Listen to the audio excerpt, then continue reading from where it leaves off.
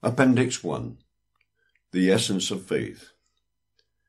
This phrase, the essence of faith, continues to play an important role in the way men think about assurance. Some say that assurance is the essence of faith. Others deny it. Who is right? Is assurance the essence of faith? I am sure it is not, but. First of all, what is essence? We could use such words as core, spirit, heart, real meaning, quintessence, soul, fundamental nature. The essence is the basic nature of a thing, the quality or qualities that make it what it is. Now, assurance, whatever it is, is not the real meaning of faith. It does not define faith. Assurance lies very close to the heart of faith and it certainly accompanies faith, but it is not its essence.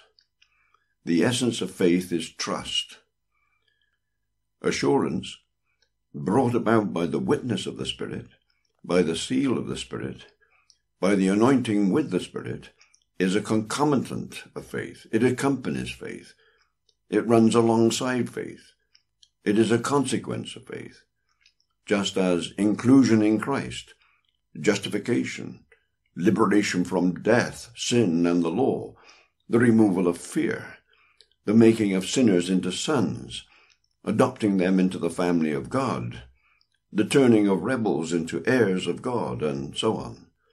All these are the concomitants and consequences of faith, and so is assurance.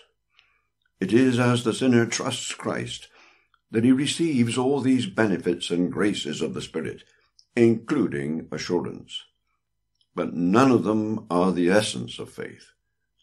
I am certainly not saying that these graces and experiences are optional extras, nor am I saying that some believers have some of them, but very few have them all.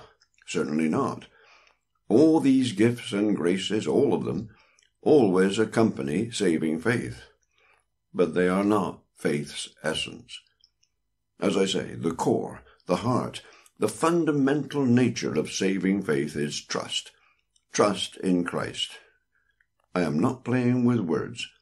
Making assurance the essence of faith goes beyond Scripture, leading to the inevitable conclusion that unless a man is assured, he cannot be a true believer.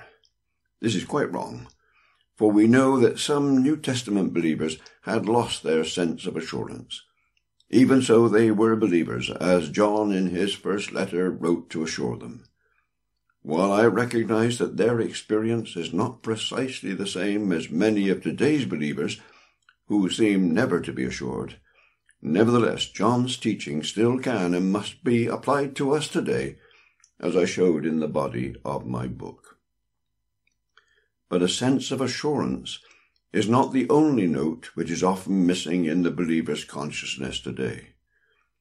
Take some of the other accompaniments of faith inclusion in Christ, liberation from the law, the turning of the enemies of God into his sons, the making of rebels into joint heirs with Christ, and so on. Every believer is in Christ. Every believer is free from the law. Every believer is a child of God and so on, but alas, not every believer has an active and vibrant sense of these things. Nevertheless, though such believers are impoverished, they are still believers. So it is with assurance. In short, while the witness of the Spirit is not the essence of faith, it always accompanies saving faith, as much as union with Christ, justification, and all the rest. The witness of the Spirit is given to every believer at conversion. Even so, assurance is not the essence of faith.